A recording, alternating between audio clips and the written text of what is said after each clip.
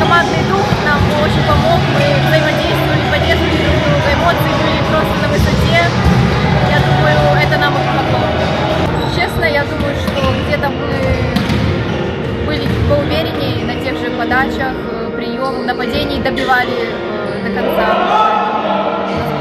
Ну ты согласна, что перед матчем э, вы не являлись фаворитами в этой встрече, были такими андердогами, да? Конечно, да, согласна, потому нас команда только собирается, новые игроки, еще не хватает взаимопонимания, взаимодействия.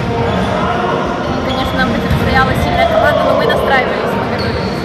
Ну, в целом, с каким настроением подходишь ты и твоя команда к сезону в Макс-лиге? Вообще мы очень настроены, готовимся, тренируемся, заряжены на каждую игру, А если вернуться вот к этой встрече, э, как оценишь конкретно свою игру? Что получилось, что нет сегодня у тебя? Я думаю, где-то по чуть-чуть, конечно, есть недочеты. Где-то можно доводку подтянуть, где-то нападение поувереннее. Ну, а так, неплохо.